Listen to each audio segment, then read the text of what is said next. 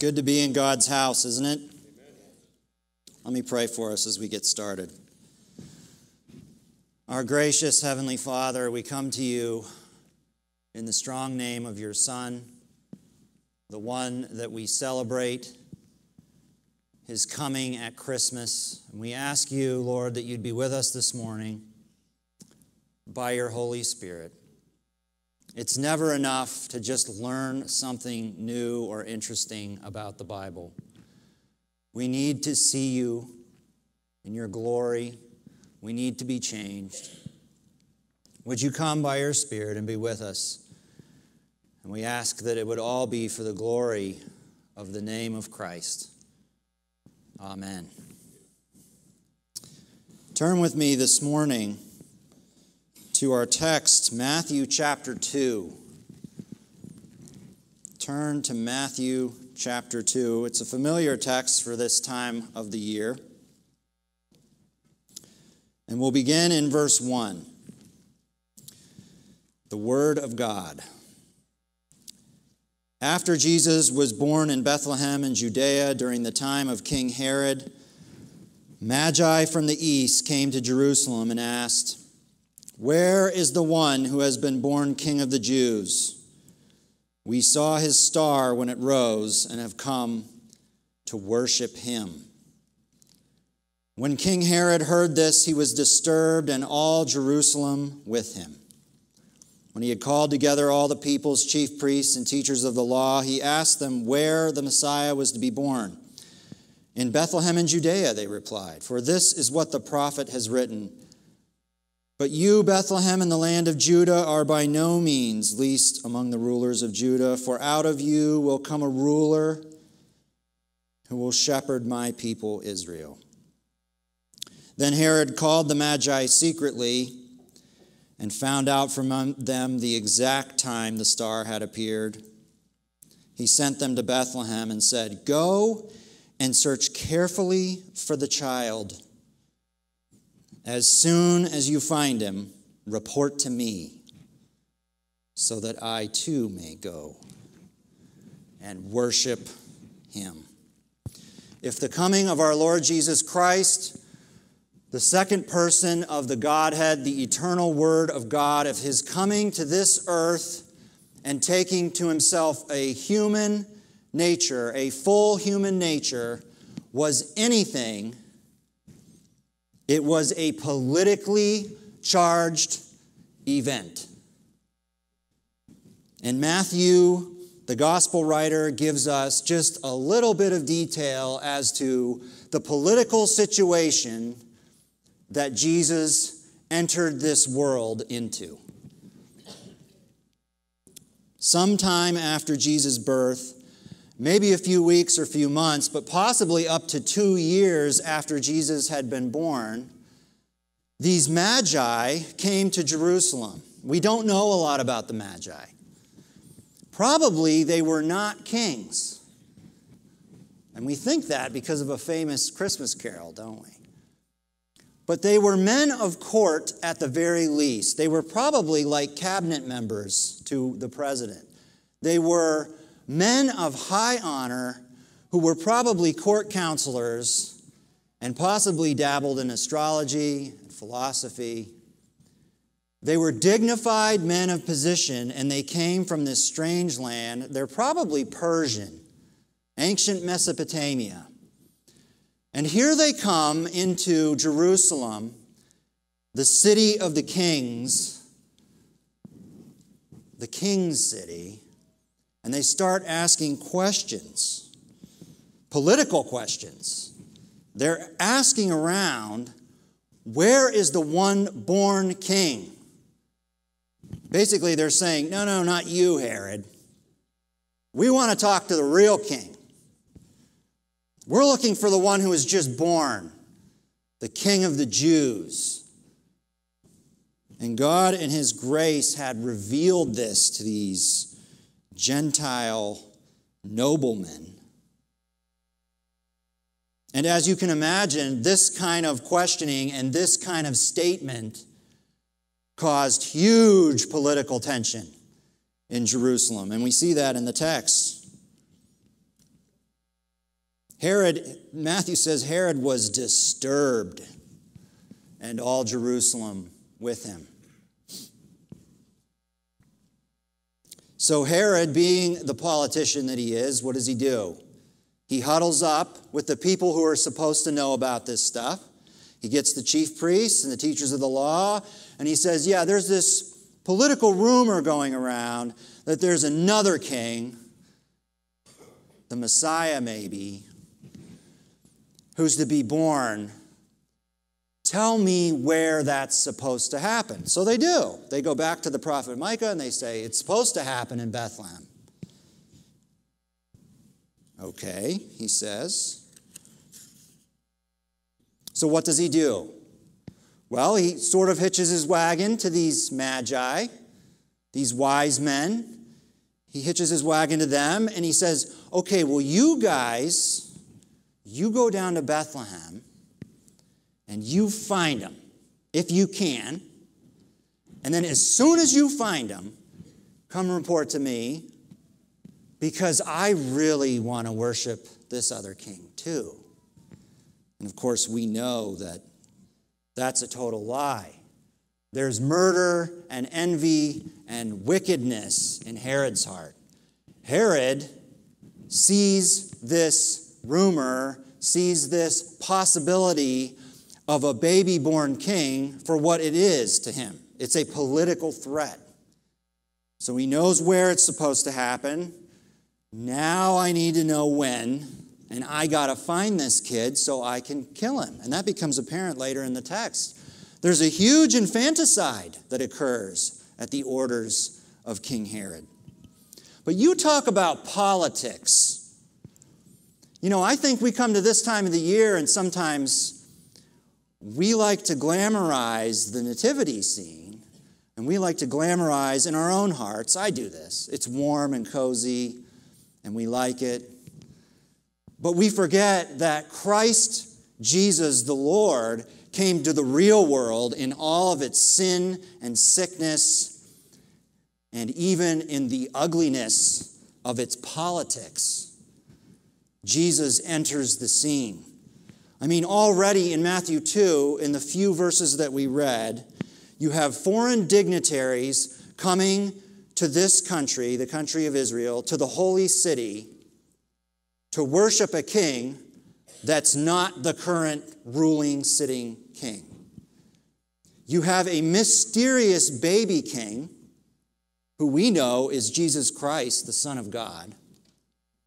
And then you have a totally paranoid, egomaniac sitting king, King Herod, who will use every means in his power to crush and stop this political rumor before it starts to get legs. I mean, people start whispering, you got to shut it down.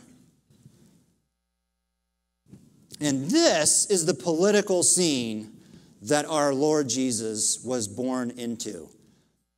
And Jesus, he can't even speak, he, let alone say anything in public. He hasn't said one word in public. He probably hasn't said one complete sentence within the confines of his own home.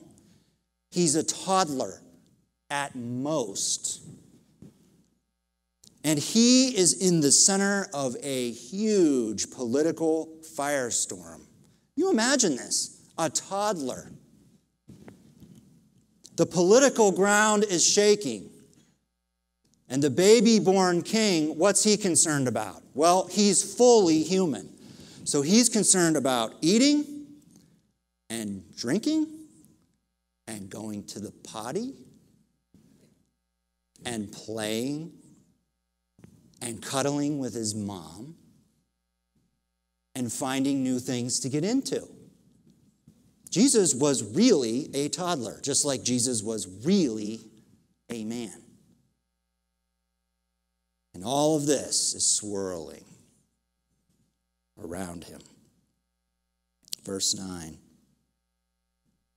After they had heard the king, that is, the Magi, the wise men, they went on their way and the star they had seen when it rose went ahead of them until it stopped over the place where the child was.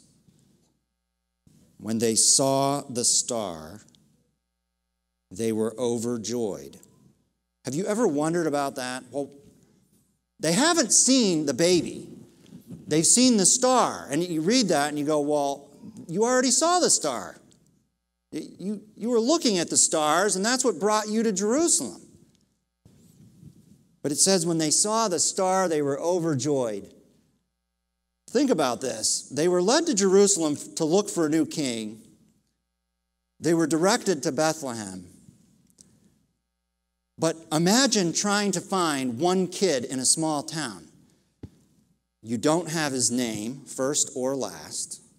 You don't have his parents' names. You have nothing. You have no address. God, in His grace, was so kind and merciful and loving towards these wise men. Matthew says, the star stopped over the place where the child was. Whatever the star was, it took them to the house, not just to the town. Wherever it was that Joseph was making a living and providing a place for his young family to live, it took them right to the apartment, right to the house, right to the tenement. And they were full of joy. How could they have ever found, out of all the kids in one small town, how could they have ever found, and yet God took them right straight there? Verse 11 On coming to the house, they saw the child with his mother Mary, and they bowed down and worshiped him. Then they opened their treasures and presented him with gifts of gold and frankincense and myrrh. And having been warned in a dream not to go back to Herod, they returned to their country by another route. Use your sanctified imagination with me for a second. You have a convoy of foreign dignitaries who look very dignified. I mean, they're wearing the clothes of high government. There's several of them, and we again we think from the hymn that it's three. That's how many gifts they brought. This could have been a dozen guys. We don't know. With all of their pack mules and all of their camels and all of their stuff and their gifts and their provisions, they come into this little town and they go right to the apartment where Joseph and Mary and Jesus are staying, filled with joy. And Jesus is a toddler. You know, you, you wonder, well, what, what did he do? I mean, what would you do when you were two strange men showed up at your house? I don't know. Did he, you know, go and run and hide? Did he go bury his head in Mary's lap? I have no idea what he did. But he's crawling around. And there must have been something about them. Mary didn't stop them. However, it happened, they ended up in the presence of this toddler. Maybe they were outside in front of their house. I don't know. Maybe they were in the living room. And all of a sudden, these dignitaries, these wise court counselors, fall to the ground, prostrating themselves face down on the ground. And they start worshiping a toddler. Can you imagine? And they really worshiped him. Were they singing? Were they speaking words of praise? I don't know what, but they were worshiping this toddler. And they didn't just worship with words. Talk's cheap, right? Out come the presents. But these are no ordinary presents. These are not things you buy for a one or two year old on their birthday. These are regal gifts gold and frankincense and myrrh. I mean, you know the value of gold. Frankincense and myrrh are exotic aromas and spices, incense. This is stuff you give to a head of state when you're visiting. This is gifts you give to the president, gifts you give to the king. And they come and they start laying their gifts out. They're worshiping the King of all kings. And it's these men, these wise men, these magi, they hold a very distinct honor in the scriptures. Do you know what it is? These wise men are the first recorded human beings on planet Earth to worship the incarnate Son of God in the flesh. The King of all kings. And they worshiped well. They were so full of joy, and they humbled themselves and they worshiped. They gave their good gifts. Here in this text, we have a wonderful and terrible picture of the peoples and kings and kingdoms of this earth. This is not a nice thing that happened that's interesting to know in the life of Jesus. This is a snapshot of 2,000 years of world history. There are only two kinds of people, two kinds of rulers, two kinds of kings in this earth. And that's still true today. There are the Herods of this world who will have no other king but themselves to rule over them. Herod hated the baby. And you have to say, well, why? He's just a baby. Herod did not hate nativity scenes and manger scenes and cozy statuaries on the lawn. Herod hated Jesus because Jesus was a real political threat to his power and he hated him for it.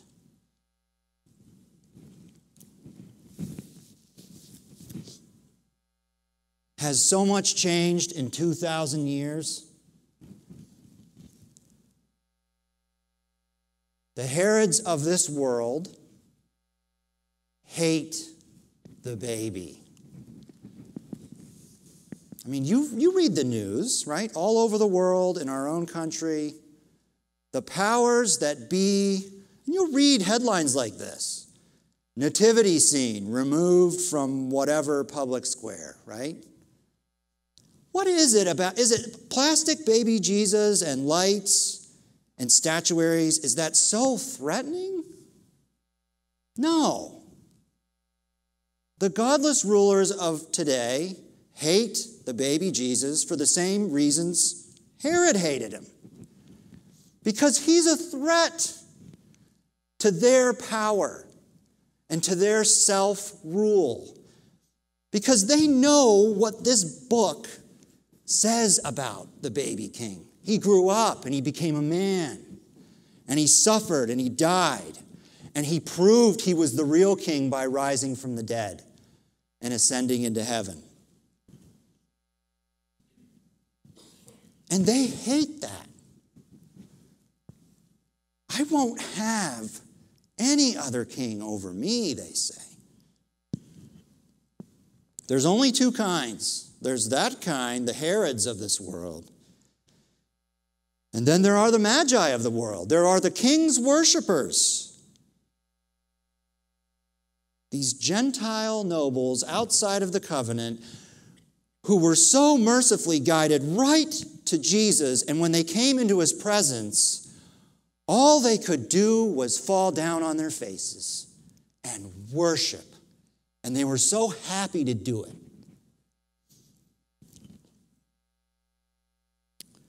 We see all of this going on, political turmoil. And we, we, we got to ask ourselves a question What is God's response?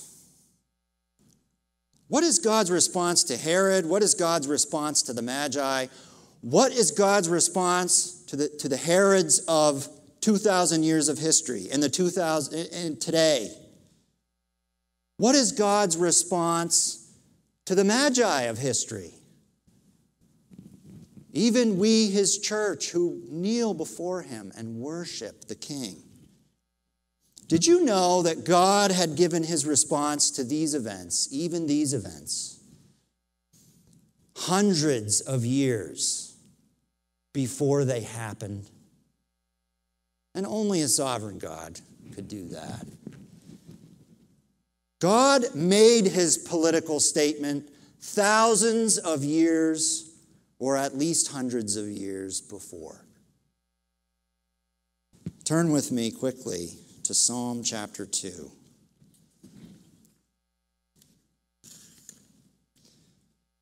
Psalm chapter 2 and verse 1. Why are the nations in an uproar and the peoples devising a vain thing? The kings of the earth take their stand, and the rulers take counsel together against the Lord and against his anointed, saying, Let us tear their fetters apart and cast away their cords from us. Does this sound familiar? It's exactly what Herod did. It's exactly what the godless rulers of our world do. They huddle up and they counsel together and they say, Let's get rid of this rumor. Let's get rid of this threat this threat who calls himself the King of Kings. We're the kings. We won't have God telling us what to do. Now, what do you think God's reaction to this is? Is he up in heaven? Is he worried? Is he saying, oh no, the kings of the earth, they're counseling together. Oh, what am I going to do? No, that's not the Lord's answer. Verse 4, this is his answer. He who sits in the heavens laughs. The Lord scoffs at them. In other words, God laughs in their faces. And then he will speak to them in his anger and terrify them in his fury, saying, But listen to what he says. But as for me, I've installed my king upon Zion, my holy mountain. I will surely tell of the decree of the Lord. He said to me, You are my son. Today I have begotten you. Ask of me, and I will surely give the nations as your inheritance, and the very ends of the earth as your possession. Do you hear what the Father is telling the Son, his appointed king? He's saying, Son, ask me for the world, and I'll give you the whole thing. It's yours. Not just the people of Israel. No, no, the ends of the earth. And isn't it appropriate that the first to come and worship on their faces are these Gentile kings from the nations.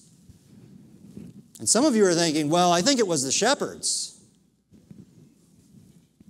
We know from Luke that the shepherds came. They were right there, right after the birth, and they were overjoyed to see it. They were overjoyed to hear the message from the angels. They were overjoyed to be a part of this thing that God had done. But Luke never records that they prostrated themselves or that they worshiped the baby directly. It's these kings, they're from the nations. They come and they bow down. God says to his son, his appointed king, You shall break them with a rod of iron, you shall shatter them like earthenware. And then God puts all the kings of the earth, all the Herods, and all the Pilates, and all the godless rulers through all the earth, presidents, congressmen, despots, tyrants, monarchs, prime ministers, he puts them all on notice concerning this king. He says, Now therefore, O kings, show discernment. Take warning, O judges of the earth. Worship the Lord with reverence and rejoice with trembling. The wise men, they, they were doing it. He says, Do homage to the Son. Another translation will say, Kiss the Son. In other words, get down on your faces and kiss my Son's feet, kings of the earth. That he not become angry and you perish in the way, for his wrath may soon be kindled. And then, after such a severe and stern warning to the rulers and powers of this world, the psalmist ends with this wonderful, gracious line. He says, How blessed are all who take refuge in him.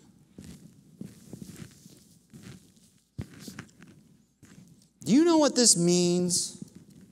This statement by God concerning his king. It means that we win. And it's not because we're anything, we're just sinners saved by the grace of a loving God. But we win because the king wins, because the king has won. Because God has installed his king, and it's Jesus Christ, the Son of God. And no power of hell and no modern day Herod will ever change that.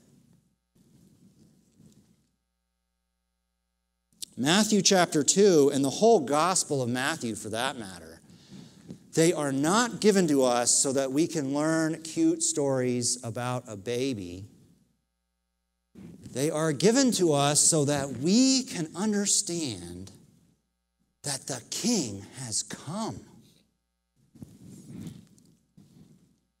And he's not just the king of our hearts, although he is that for sure. He's the king of the nations. And God's statement concerning his king, this toddler, who in Matthew chapter 2 is in Bethlehem, God's statement concerning the toddler is not, O kings of the earth, please, would you please worship my son?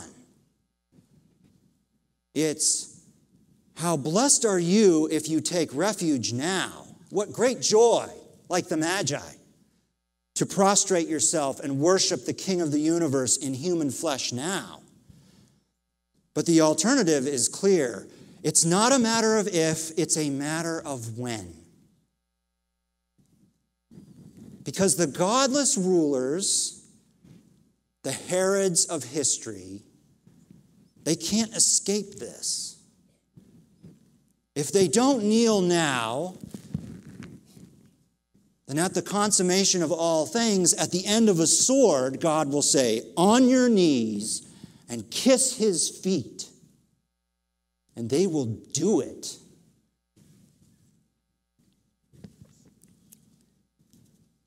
It's a victorious reminder of what Christmas is, isn't it? We serve the living, risen Christ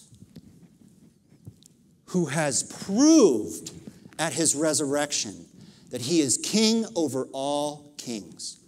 Period and he rules the nations. We see it at the very end of Matthew.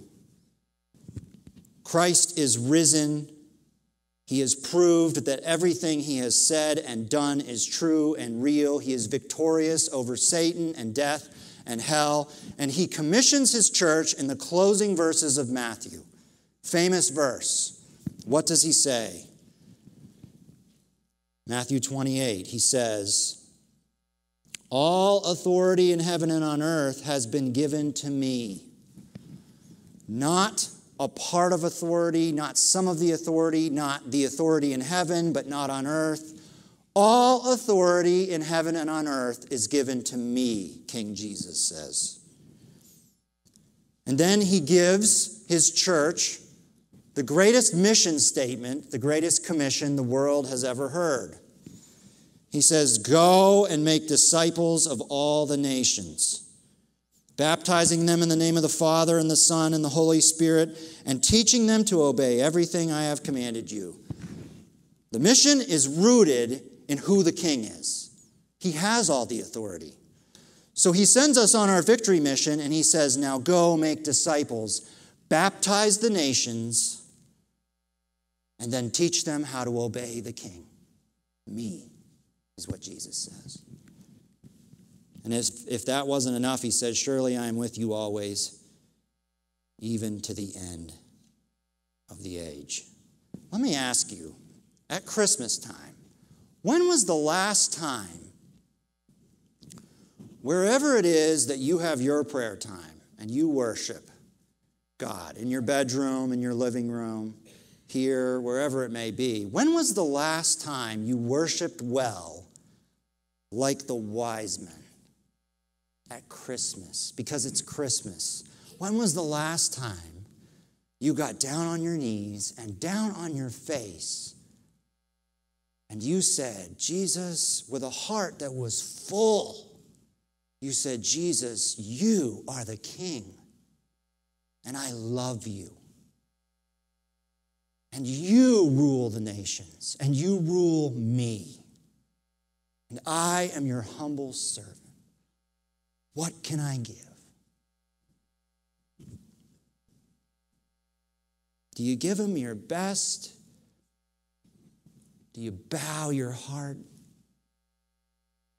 At Christmas, we celebrate the King's birthday, but we don't do it the normal way we celebrate birthdays. We're not just marking off the years.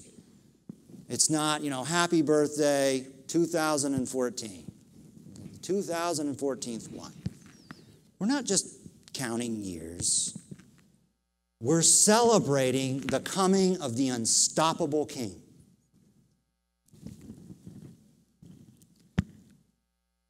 And we know that whatever the godless Herods through history, the godless Herods of our day are doing, we know that Christ has won the victory. And we can rejoice at Christmas time. We, the church, ought to be the happiest, merriest bunch of feasting, joy filled people on the face of the planet. Because this is true. Jesus is the King. And we should be like the Magi. We don't just say it, talk is cheap. We do it. And how do we do it? We serve the king. And how do you serve the king? Well, you serve other people. And we ought to do that at Christmas time. And we ought to buy good presents. And I mean good presents like Legos. Not because we're looking for something out there, and we see the poor souls all around us who don't know the King. They're out there this time of year. They're searching for that one thing that they can get that's finally going to make me or someone else happy. But we're not going to buy our gifts that way. We're going to give good gifts as the Lord allows us, and we're going to say, this gift is just in commemoration of the King. The greatest gift that was ever given to any of us. The greatest gift was a baby king. And he rules and he reigns. Praise his holy name.